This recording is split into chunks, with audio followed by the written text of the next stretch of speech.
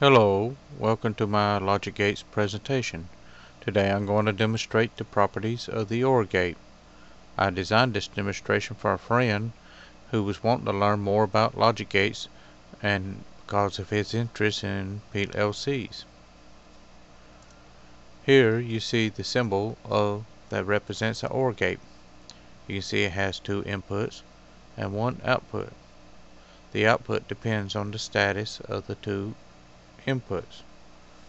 Here we have the truth table. It represents the status of both the inputs and the output. You can see all the values are zeros and ones. This is due to the fact that logic gates use the binary number system which is based on 2. So there are only two numbers. The reason is very simple.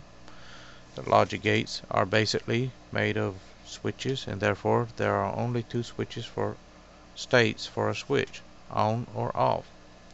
The on state is normally represented by the numeral 1 and the off state is represented by the numeral 0.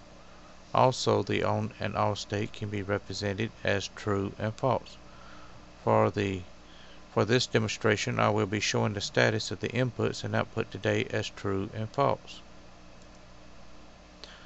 Here I use momentary push button switches to represent the inputs of the OR gate and a light bulb to represent the status of the output.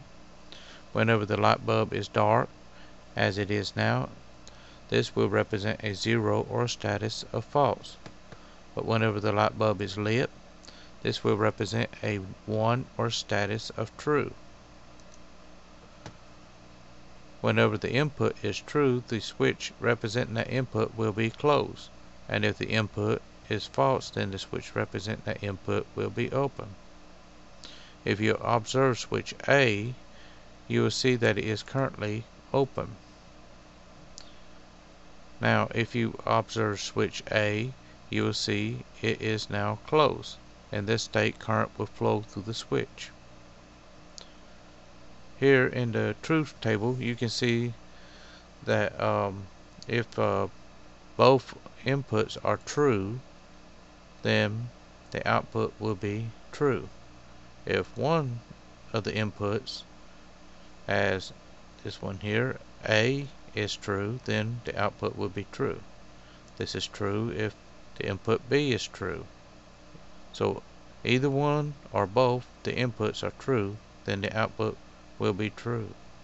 The only time that the output on an OR gate is false is when both inputs are false.